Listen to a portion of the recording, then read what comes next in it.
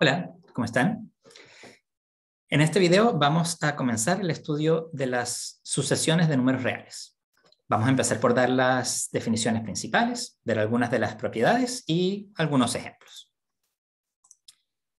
El contenido completo del video lo pueden ver en esta parte de acá y vamos a empezar entonces a dar la definición formal de una sucesión pero antes me gustaría hacer la analogía con vectores en el espacio, porque me parece que así se entiende de manera un poco más clara. Entonces, eh, vectores en el espacio. Nosotros solemos representar los vectores de esta manera. Vamos a llamarlo A con una flechita por arriba. Y eh, el vector, voy a poner un, un ejemplo. Este es el vector de coordenadas 2, 3, menos 1. Aquí hay que tener en cuenta varias cosas. En primer lugar, el vector tiene lo que nosotros solemos llamar componentes, que en el caso de vectores en el espacio son tres. Esas componentes uno las puede eh, interpretar como unas casillas y esas casillas están, eh, incluyen o contienen números reales. Entonces, la primera casilla contiene el número 2, la segunda casilla contiene el número 3 y la tercera casilla contiene el número menos 1. Fíjense que este vector, 2, 3, menos 1, es distinto del vector 3, menos 1, 2, aunque en él aparecen los mismos números. Entonces, el orden que ocupa cada número o la casilla donde está escrito es muy importante en la definición de vectores. otro punto importante de los vectores es que nosotros solemos darle nombre a las distintas componentes. Y cuando tenemos un vector A, solemos llamar a 1 con este subíndice 1, que denota la primera casilla, a el término que aparece acá, al número real que aparece acá, a sub 2 al término que aparece en la segunda casilla y a sub 3 en el término que aparece en la tercera casilla. Así que este subíndice que aparece aquí nos indica la posición que ocupa el número dentro de las casillas que conforman el vector. Eh, otra manera de interpretar esto es eh, pensar en los números que aparecen acá.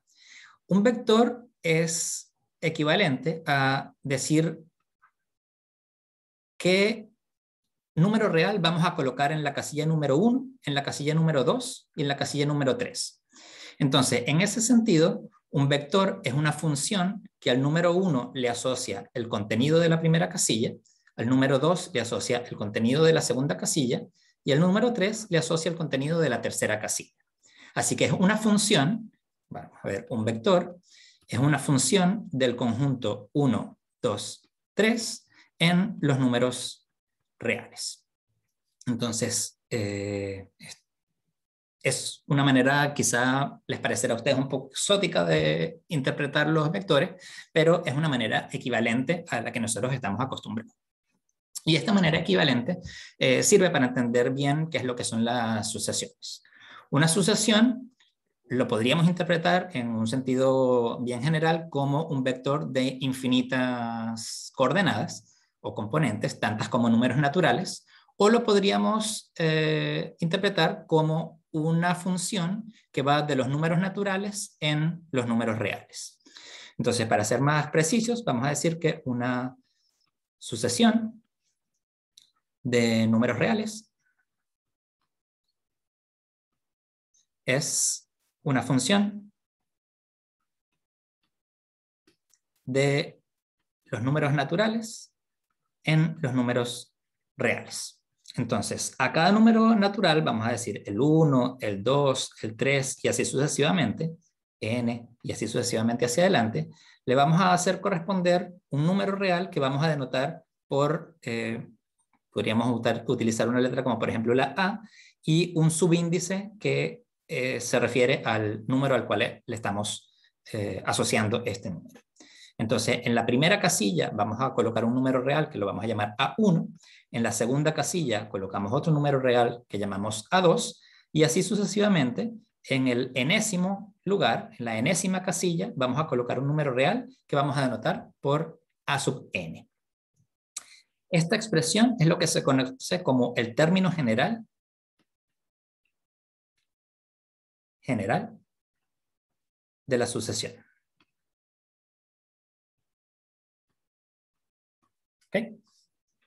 Vamos a ver algunos ejemplos para que esto quede más claro. Eh, en primer lugar, vamos a tomar como ejemplo los números naturales.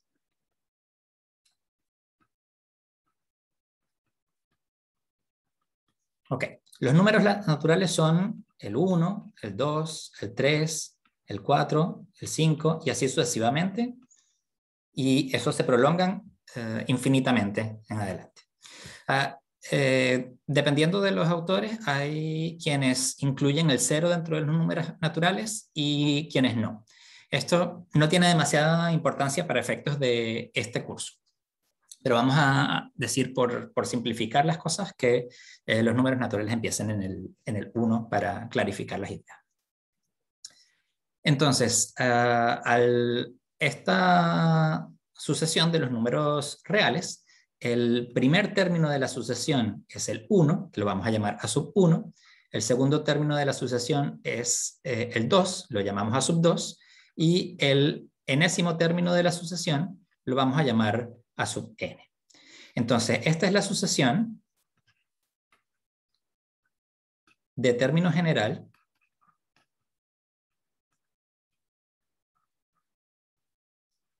a sub n igual a n. Cuando colocamos aquí 1, obtenemos el número 1. Cuando colocamos 2, obtenemos el número 2 y así sucesivamente. Em, vamos a ver otro ejemplo. 2 el de los números impares. Eh, esta sucesión contiene entonces al 1, al 3, al 5, al 7, al 9 y así sucesivamente en adelante. Fíjense en dos cosas. La primera es que cada término, bueno, eh, se obtiene a partir del anterior sumándole 2. Para obtener el 3 a partir del 1 le sumamos 2, para obtener el 5 a partir del 3 le sumamos 2 y así sucesivamente. Y el primer término de la sucesión es el 1. Esta es una manera entonces de representar la sucesión eh, que se conoce como una fórmula recursiva. A partir de una fórmula recursiva, entonces nosotros podemos decir cuáles son todos los términos de la sucesión, encontrando cada vez eh, uno a partir del anterior o de los anteriores. Entonces, una manera de, encontrar una fórmula para el término general es eh, la siguiente. Fíjense que el, segundo elemento de la sucesión, que es el 3, se obtiene al sumarle al primer elemento 2. El siguiente término, que es el a sub 3, se obtiene de sumarle 2 al término anterior, que es a sub 2. Y así sucesivamente el término a sub n más 1 se va a obtener a partir del término a sub n sumándole 2. Eh, bien. Eh, entonces podemos, si nosotros tomamos todas estas igualdades y las sumamos, vamos a ver que eh, en la suma, este término se cancela con este, este término se cancela con el siguiente, y así sucesivamente todos los términos se van cancelando con el siguiente que aparece en la línea de abajo al lado derecho de la igualdad. Eh, aquí, ¿cuántos, ¿cuántas líneas hay? Bueno, hay una línea, dos líneas, tres líneas, hasta n líneas. Así que aquí tenemos n líneas que estamos sumando. Por lo tanto, en la suma, al final, del lado izquierdo nos va a quedar a n más 1 y del lado derecho nos va a quedar a 1 y ¿cuántos números 2? n veces porque hay uno por cada línea. Dos veces Entonces, como el primer elemento, el primer término era 1, tenemos que el a sub n más 1 se encuentra usando la fórmula 2n más 1. Y con esto eh, hemos encontrado una manera de, dado el número n, encontrar cada uno de los términos de la sucesión. Esta representación se llama encontrar una fórmula para el término general de la sucesión. Em, ok, entonces eh, vamos a ir un poco eh, más allá. De nuevo tenemos eh, la sucesión, la vamos a representar, vamos a usar esta notación. Para una sucesión vamos a usar paréntesis, vamos a escribir cómo denotamos el término general y vamos a decir de dónde a dónde eh, van los eh, números que podemos utilizar como índices. En, si yo escribo entonces desde para n igual 1 hasta infinito, esta sucesión quiere decir que voy a tener el término a sub 1, que es el primero de acá, el término a sub 2, el término a sub 3, y así sucesivamente voy a seguir hasta el infinito. Si yo dijese eh, que voy a considerar la sucesión a sub n desde n igual 3 hasta infinito, entonces esta sería la sucesión a sub 3, a sub 4, a sub 5 y así sucesivamente. Entonces tenemos aquí este número, este símbolo en realidad, que es el índice. Y aquí tenemos unos eh, límites superior e inferior.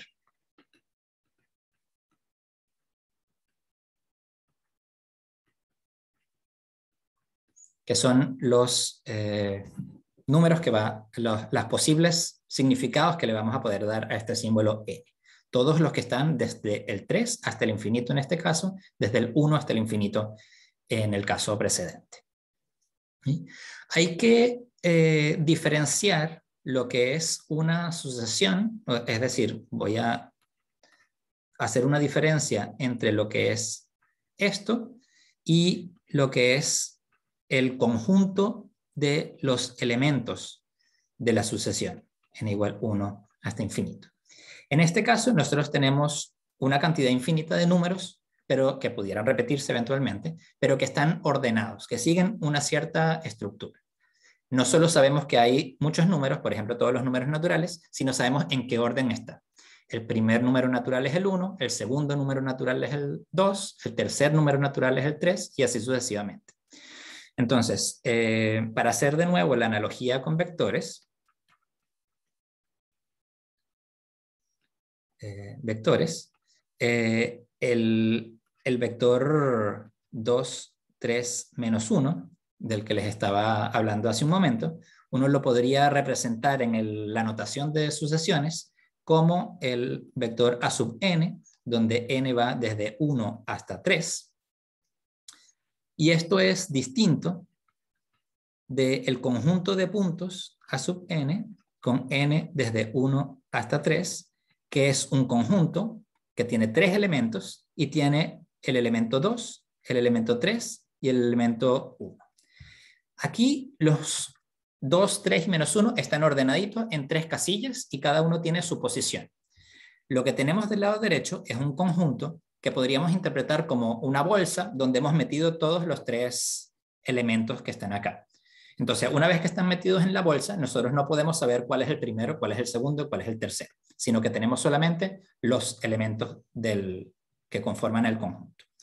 A este conjunto lo vamos a llamar la imagen de la sucesión.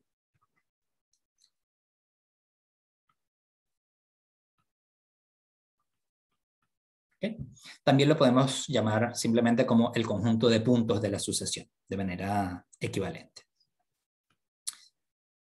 Bien, vamos a eh, ver entonces eh, algo lo que les comentaba antes de eh, las formas de, de, escribir una sucesión, que ya hemos comentado indirectamente hace un momento. vamos a ver dos maneras de representar una, solución, una sucesión.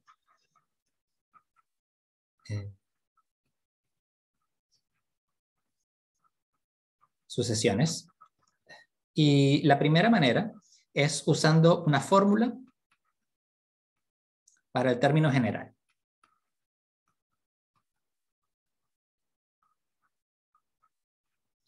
Entonces, aquí eh, lo que tenemos es, por ejemplo, vamos a tener la sucesión a sub n, desde n igual 1 hasta infinito, donde a sub n es igual, por ejemplo, a 2 a la n.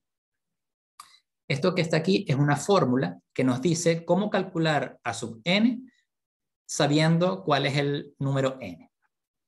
Entonces, eh, si nosotros tenemos, usamos esta fórmula, nosotros podemos deducir que la sucesión es, bueno, para n igual 1 es 2 a la 1, es 2, para n igual 2 es 2 a la 2, que es 4, para n igual 3 es 2 a la 3, que es 8, luego 16, luego 32 eh, y así sucesivamente. Vemos, vamos obteniendo todas las potencias de 2. Esto entonces es una manera de expresar la sucesión dando una fórmula explícita para el término general. Esto generalmente es la manera más práctica de tener expresada una sucesión. Hay una segunda manera de expresar una sucesión entonces que es una fórmula de recurrencia que nos dice cómo obtener un término a partir del anterior o de todos los anteriores.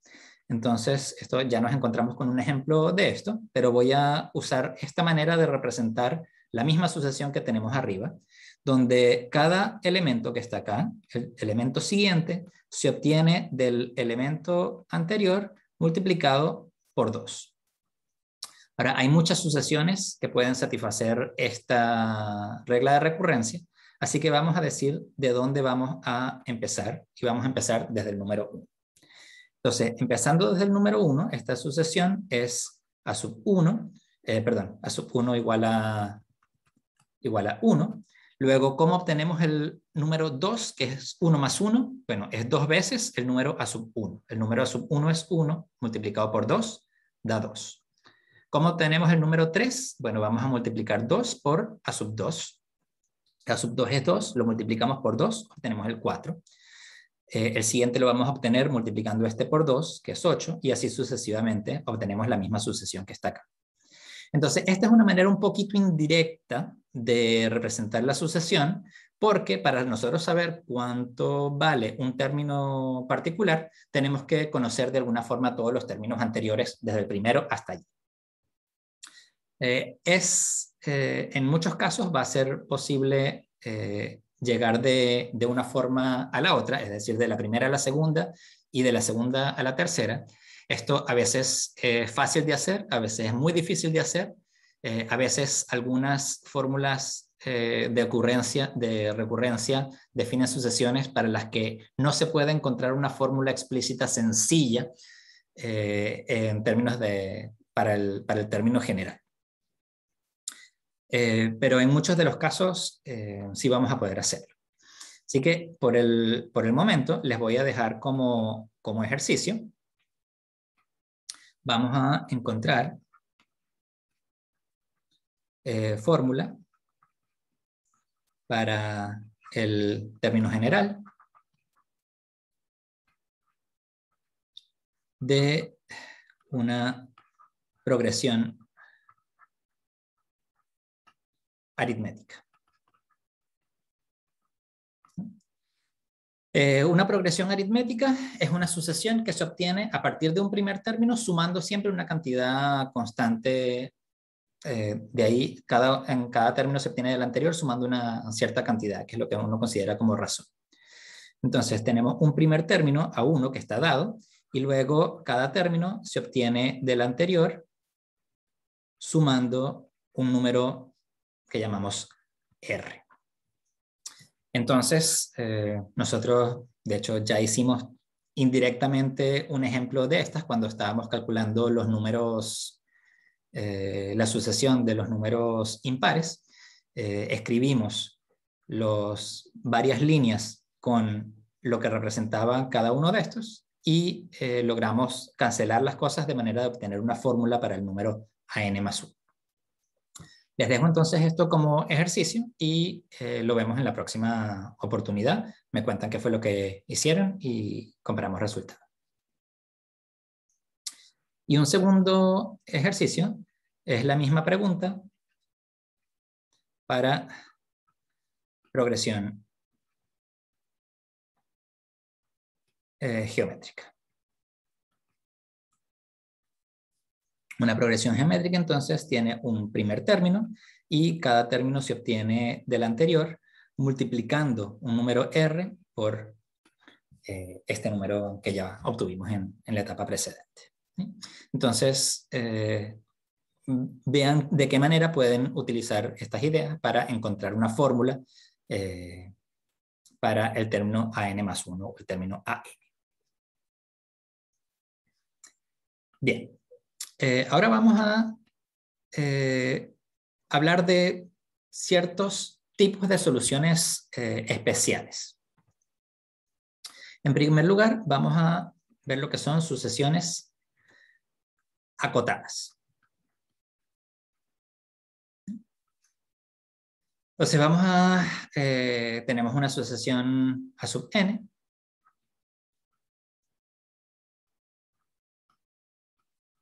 A sub n, vamos a decir que va desde n igual 1 hasta infinito. Y vamos a decir que a sub n es o está acotada superiormente, acotada superiormente, si existe un número m, número real, tal que todos los términos de la sucesión eh, son menores o iguales que este n, para todo n desde 1 hasta infinito. Todos los n de, eh, que aparecen acá. De manera similar, diremos que está acotada inferiormente si existe un número que es más chico o igual que todos los elementos de la sucesión. n en R tal que todos los A sub n son mayores o iguales que m para n desde 1 hasta infinito. Si la sucesión está acotada tanto superiormente como inferiormente, vamos a decir que la sucesión es simplemente acotada. Si ocurren ambas cosas, decimos que la sucesión es simplemente acotada. Entonces vamos a ver algunos ejemplos de esto. Para eso eh, vamos a, les voy a dar dos sucesiones.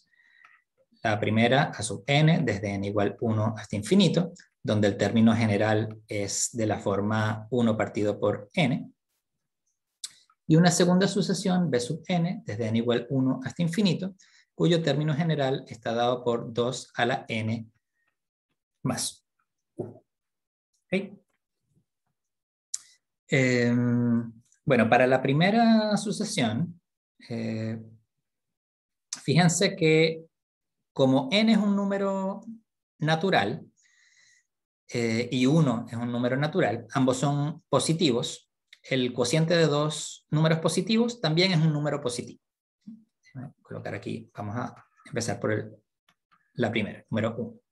Lo primero que notamos es que 1 es mayor que 0, n es mayor que 0, por lo tanto 1 partido por n también es mayor que 0, porque el cociente de dos cantidades positivas también me da una cantidad positiva. Entonces, 1 partido por n es mayor que 0 para todo n número natural, y de aquí deducimos entonces que la sucesión está acotada inferiormente.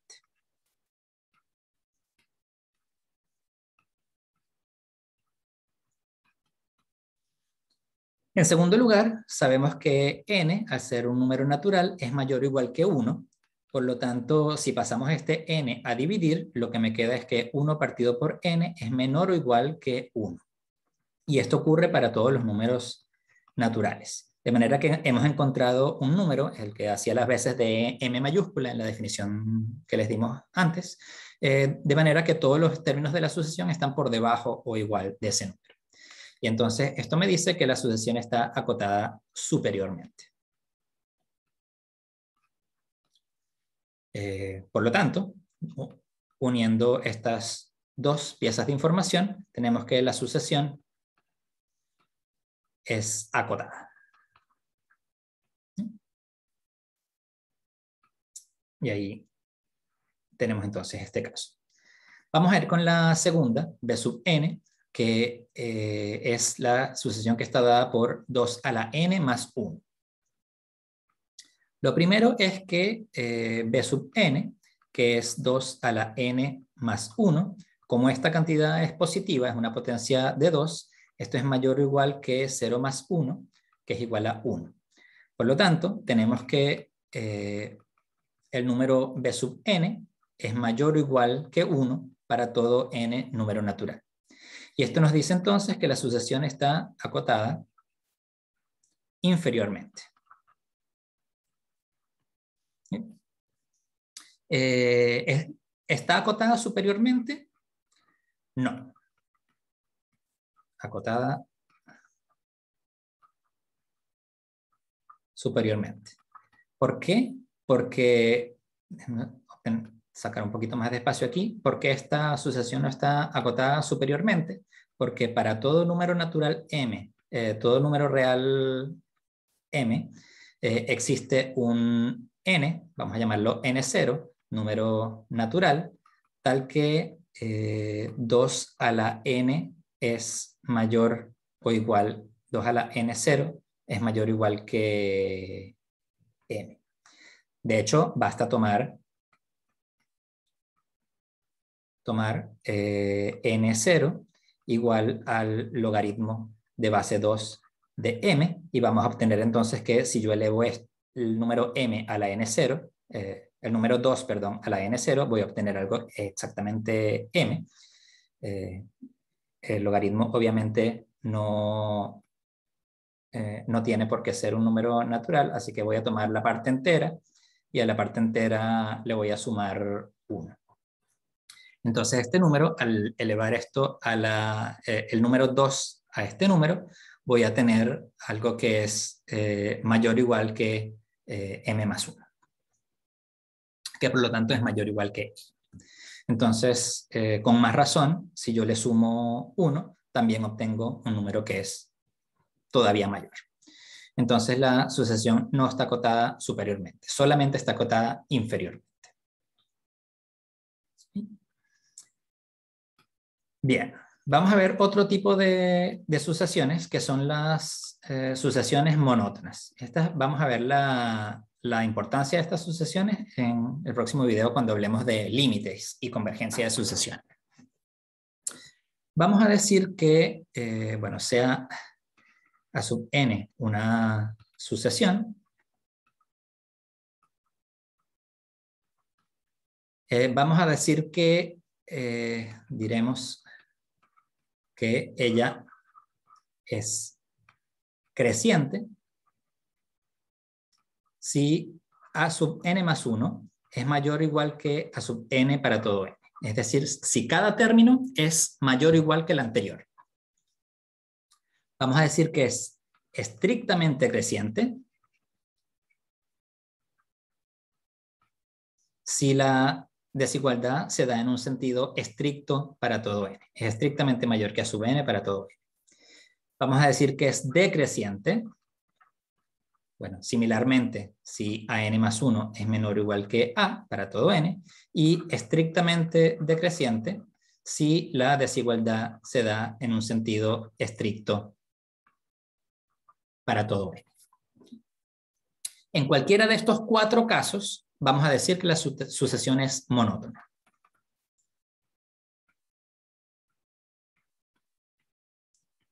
De estos casos, decimos que la sucesión es monótona.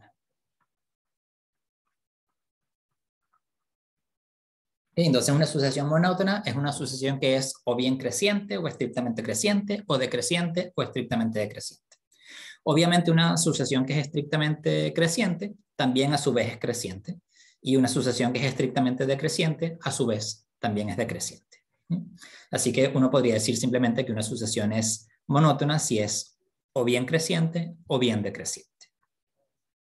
Entonces vamos a ver un, eh, un par de ejemplos y en realidad no vamos a ver solamente los ejemplos, sino vamos a ver maneras de comprobar si una sucesión es eh, creciente o decreciente. Y vamos a hacer entonces lo eh, siguiente. Vamos a, estudiar tres maneras de ver si una sucesión es creciente o, o decreciente. Entonces, tres maneras de comprobarlo. Ok, la primera es, eh, fíjense que voy a hacerlo con, bueno, da lo mismo con creciente o decreciente, sino lo único que uno tiene que hacer es eh, cambiar el sentido de la desigualdad. Vamos a suponer que todos los a sub n son distintos de cero. Perdón, no, no mayores que cero, sino distintos eh, de cero. Por ejemplo, si es que fuesen positivos. Eh, no, en realidad vamos a, sí, efectivamente, eh, vamos a, para, para simplificar las cosas, eh, vamos a suponer que, que, todos los términos son, son positivos, para no entrar en casos y, y subcasos. Entonces, fíjense que esta desigualdad a sub n más 1 es mayor o igual que a sub n, o uno podría usar también eh, desigualdad estricta o la desigualdad en sentido contrario. Esto es equivalente a decir que a sub n más 1 dividido por a sub n es mayor o igual que 1, pasando a dividir a sub n. En este caso, como todos los términos son estrictamente mayores que 0, al pasar a dividir no se altera el sentido de la desigualdad y tenemos exactamente la misma que aparece ahí. Entonces, eh, vamos a ver eh, ¿Cómo uno puede comprobar? O sea, entonces, comprobar esto es exactamente lo mismo que comprobar esto. Entonces, nosotros podemos mirar el cociente entre A sub n más 1 y A sub n y determinar si esa cantidad es mayor que 1, menor que 1, igual a 1, etc. Entonces, vamos a hacerlo a través de un ejemplo. Eh, voy a definir la asociación A sub n en que el término general está dado por 2 eh, a la n partido por n. Un paréntesis aquí, eh, si, la fórmula para el término general está expresada en términos de sumas de cosas eh, y, o productos de cosas, en el caso, por ejemplo, positivo, eh, recuerden que las, en el caso de, de, funciones, y esto aplica también para, para sucesiones, la suma de funciones crecientes es creciente, y lo mismo pasa para sucesiones, y el producto de sucesiones crecientes, en el caso que sean positivas, también es creciente. Entonces, si uno pudiera ah, expresar eh, la sucesión como producto de dos cosas que vayan creciendo o que vayan decreciendo, o una y una, eh, no, dos creciendo o dos decreciendo, entonces podríamos decir algo acerca del producto de la suma. Eh, este no es el caso, porque, bueno, esta es una sucesión que uno puede ver que es creciente y 1 partido por n es una sucesión que es decreciente y el producto de una creciente por una decreciente puede ser cualquier cosa. Pero entonces vamos a aplicar esta idea para ver eh, si esta sucesión es creciente o decreciente o, o, quizá no sea ninguna de las dos cosas. Entonces vamos a escribir a sub n más 1 dividido por a sub n. ¿Qué es esto? a sub n más 1 dividido por a sub n es 2 a la n más 1 dividido por n más 1 dividido por, y simplemente voy a usar la doble C y escribirlo al revés, esto es 1 partido por a sub n, que es n partido por 2 a la n. Entonces, si ustedes se fijan esto, eh, que está aquí, nosotros lo podemos escribir como 2 a la n multiplicado por 2. El 2 a la n se cancela con este 2 a la n que está en el denominador. Y tenemos 2 multiplicado por n partido por n más 1. ¿Ok? Ahora, si n es mayor o igual que 1, que es el caso, eh, porque, bueno, no lo, no lo, dije acá, pero siempre hemos estado tomando los naturales eh, a partir del, del 1. Si n es mayor o igual que 1, entonces 2n, que es igual a n más n, es mayor o igual que n más 1. Y por lo tanto, 2n partido por n más 1, pasando este n más 1 a dividir para el lado izquierdo, es mayor o igual que 1. Así que esta expresión que está acá es mayor o igual que. Y tenemos entonces que a sub n más 1 dividido por a sub n es mayor o igual que 1. Y esto nos dice, en consecuencia, que a sub n más 1 es mayor o igual que a sub n y por lo tanto la sucesión es creciente. Eh, de hecho, fíjense que uno podría decir que, bueno, para n estrictamente mayor que 1, esta cantidad es estrictamente mayor que n más 1, así que esto es estrictamente mayor que 1 y por lo tanto esto sería estrictamente mayor que 1. Por lo tanto tendríamos esta desigualdad en sentido estricto y por lo tanto tendríamos que la asociación es estrictamente decreciente. Eh, pero eso no sirve para 1, porque esta, esta desigualdad es estricta solamente para n estrictamente mayor que 1. voy a anotar esto aquí, si n es mayor que 1, entonces eh, tenemos que a sub n más 1 es mayor que a sub n, y a partir de ese momento, es decir, si n es estrictamente mayor que 1, la sucesión empezaría a ser estrictamente creciente. Pero fíjense que el término a sub 1 es 2 a la 1 partido por 1, que es 2, y el término a sub 2 es 2 a la 2, que es 4, partido por 2, eso me da de nuevo 2. Así que entre el 1 y el 2, justamente en ese pedacito, eh, no se cumple la, el crecimiento estricto, sino que solamente es eh, creciente en el sentido laxo del mayor o igual. Entonces hay que tener un poquito de cuidado con eso. A veces la desigualdad estricta se da solamente a partir de cierto, de cierto número. Entonces, esta es la primera manera de comprobar si una sucesión es eh, creciente o decreciente. Es, en el caso de los números positivos, eh, mirando el cociente entre un término y el siguiente, o un término y el anterior, como prefieran mirarlo. ¿Okay? Bueno, la segunda manera de hacer esto, que también por supuesto es eh, equivalente, es eh, notar que a sub n más 1 es menor o igual que a sub n, ahora lo voy a hacer con menor o igual para, para variar, eh, esto es equivalente a decir que a n más 1 menos a sub n es menor o igual que 0. Entonces, si nosotros podemos escribir una expresión sencilla para esta diferencia, sencilla en el sentido de que podamos determinar fácilmente si es que eh, ese número es positivo o negativo, entonces vamos a poder comprobar si se cumple una desigualdad de este estilo y por lo tanto vamos a poder concluir que la sucesión es creciente o decreciente dependiendo del caso. Entonces vamos a ver un ejemplo de esto. Voy a tomar la sucesión de término general a sub n igual a 2n más 1 dividido por n cuadrado más n. Esta a simple vista mm, es como difícil ver si la sucesión sea creciente o decreciente, eh, pero es un cociente de dos cosas. Vamos a ver qué nos dice este, esta diferencia que está aquí.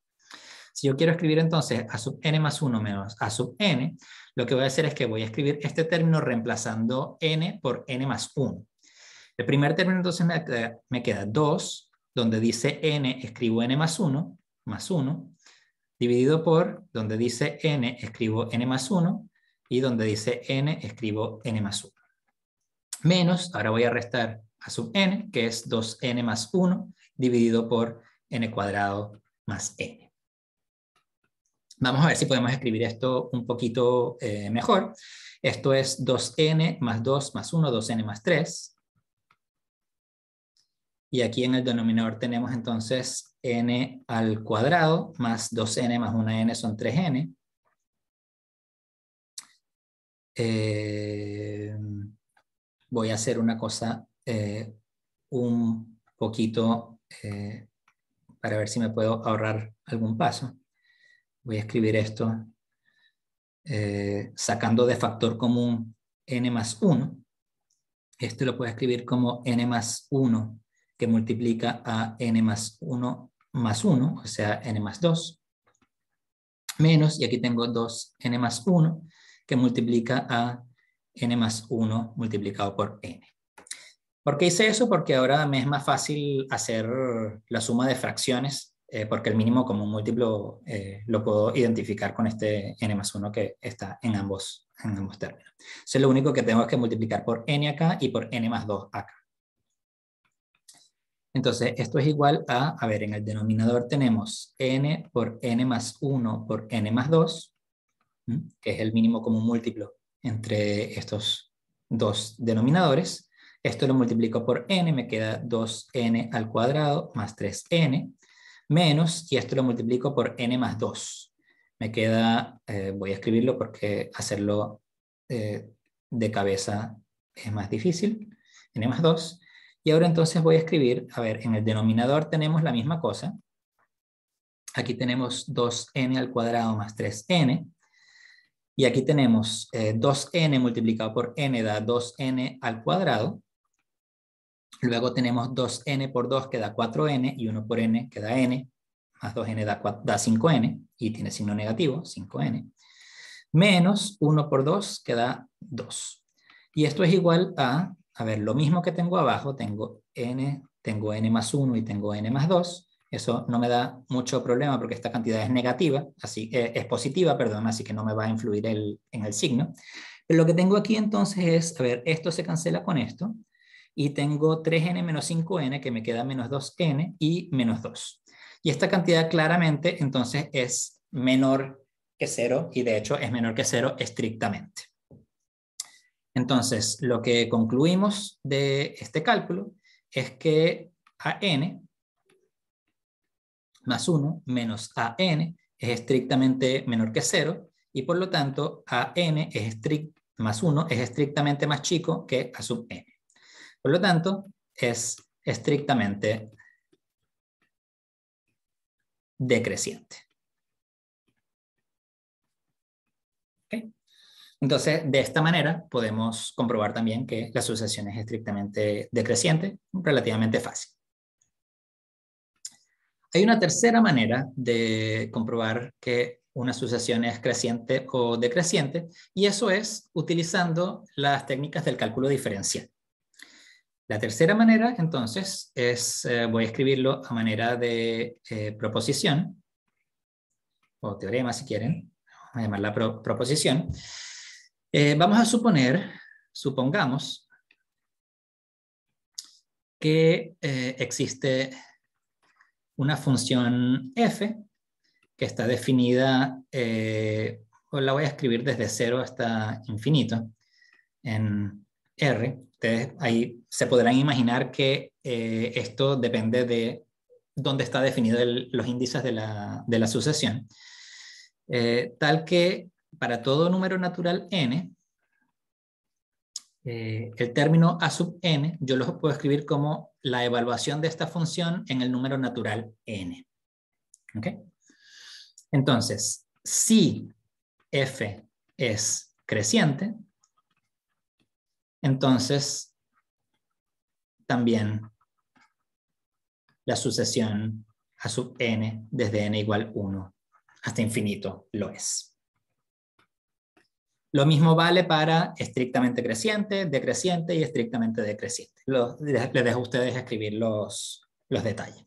Pero esto entonces es bien sencillo porque en particular, eh, en particular, si f es derivable y la derivada en x es mayor o igual que 0 para todo x mayor que 0, entonces a ver si la función es derivable y su derivada es mayor o igual que cero, entonces la función es creciente y por lo tanto automáticamente vemos que a sub n desde n igual 1 hasta infinito es creciente. Y esto es entonces una, propiedad bien útil que nos permite eh, decir que una sucesión es creciente. Ahora fíjense que esto va a ser eh, esta herramienta va a ser útil solamente en el caso en que nosotros podamos escribir eh, una fórmula para el término general de la sucesión en términos de n, que va a ser el caso en, muchos de los ejemplos que vamos a ver. Entonces les propongo que eh, miremos la, última, el último cálculo que hicimos de la sucesión que vimos que era decreciente a la luz de este resultado que acabamos de comentar. Entonces, como ejemplo, vamos a ver qué es lo que nos dice el, resultado. Nosotros teníamos eh, en la sucesión del ejemplo anterior, habíamos dicho que era 2n más 1 dividido por n cuadrado más n. Eh, entonces, eh, vamos a definir la función f de x igual 2x más 1 partido por x cuadrado más x. Esa función f está definida, eh, está bien definida desde 0 infinito, perdón, desde los reales positivos en los, en los reales. Eh, el denominador no se anula, además es polinomio partido por polinomio, así que esa función es continua y diferenciable en todo su dominio, que incluye el cero infinito. Y podemos calcular entonces la derivada de esa función. La derivada de esta función es derivada del numerador por el denominador sin derivar, etcétera, etcétera. Entonces, derivada del numerador es 2, el denominador sin derivar es x cuadrado más x, menos el numerador, 2x más 1 por la derivada del denominador, que es 2x más 1, casualmente, dividido por el denominador eh, al cuadrado. Okay. Vamos a ver si podemos simplificar esto un poquito. Esto es, a ver, eh, perdónenme que aquí este, este no es, eh, no estaba al cuadrado. Vamos a escribirlo bien. Esto es x. Entonces, cuando calculamos esto, tenemos 2x cuadrado más 2x menos 4x cuadrado menos 4x eh, menos 1 dividido por la misma cosa que está al cuadrado, así que no va a alterar el signo. Cuando cancelamos estas dos cosas aquí, me queda menos 2x al cuadrado menos 2x menos 1 dividido por esta misma cosa que está al cuadrado. El signo del numerador es negativo, el signo del denominador es positivo, por lo tanto el cociente es negativo. Así que esta función que está aquí es estrictamente decreciente y por lo tanto la sucesión es estrictamente decreciente y llegamos a la misma conclusión que llegamos por el otro método que utilizamos.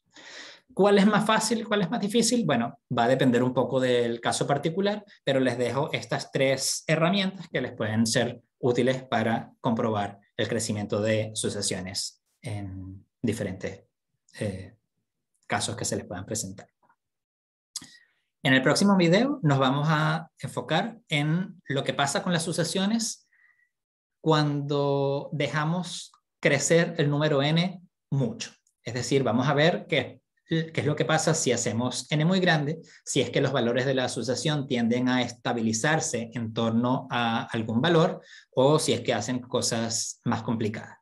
Cuando los valores de la asociación tienden a estabilizarse, cuando los términos de la asociación tienden a parecerse mucho entre sí y estar cerca de un valor dado, vamos a decir que la asociación es convergente y que ese valor al cual se van acercando y van a ser cada vez más parecidos los términos de la asociación, eso lo vamos a llamar el límite de la sucesión. Muy parecido a eh, lo que ocurre con funciones y que ya ustedes vieron en el curso, en cursos anteriores de, de cálculo. Nos vemos entonces en el próximo video.